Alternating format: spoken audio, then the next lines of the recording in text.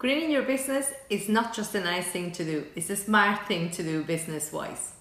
There is a huge opportunity for those businesses that want to be pioneers in their industries and actually listen to what society is asking for.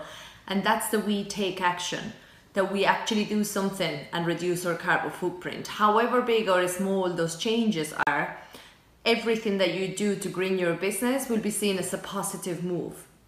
The benefits of running a green business are huge. You will align yourself to your customer values. You will also create goodwill and a good reputation for your business. You will reduce your carbon footprint and you will reduce your utility bills, which in turn will actually save you money.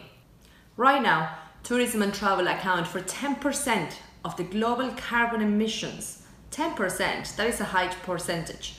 And considering at the rate that tourism is growing, I do wonder will we at some stage become one of the most polluting industries around the world? I don't think society is going to take that lightly. Our customers of tomorrow are the children of today, and they're currently striking for climate change for nearly a year.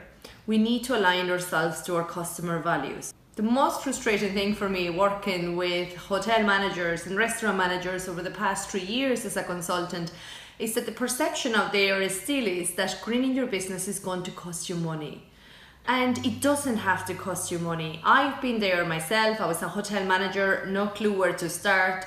Um, and when we started implementing a green program in a hotel that I worked in the west of Ireland, we managed to reduce our utility bills by a huge amount 30% in energy, 40% in waste, 25% in water.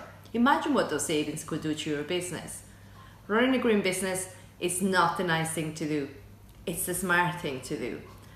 Your customers and your bank account will thank you for it. These are the basis of my blog this week. If you want to see the full blog post, head over to my website, 50shadesgreener.ie.